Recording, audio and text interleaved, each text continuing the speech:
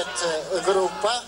Da se posjetimo, to su bili Pneumonija, Delirium Tremens, Tuta Forza, Condition Critical, Nirvana, The Swindle, Dionys, Devastation i Excalibur.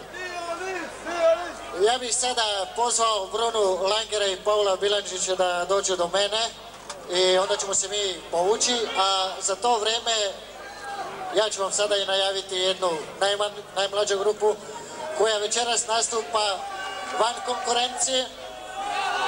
Oni su inače veoma mladi i treba im dati dosta podrške.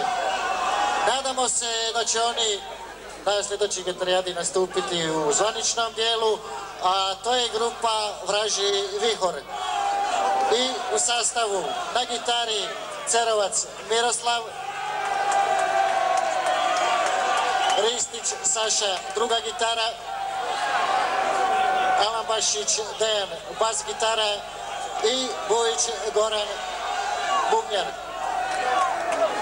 Još jednom molim eh, Brunu, Langera i Paula da dođu do mene. Nakon ove grupe koja se zove Vraži Vihor, proglasit ću pobjednika ove gitarijane.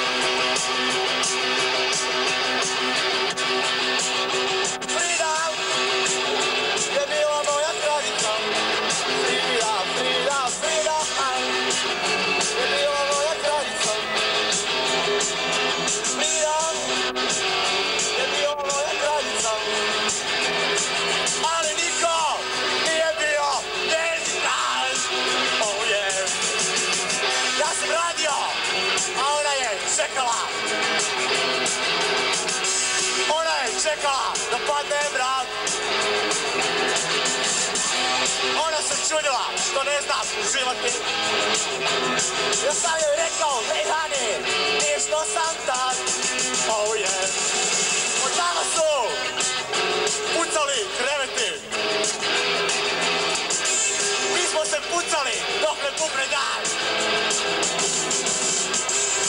so you Ciao, a mi sa, pogodio.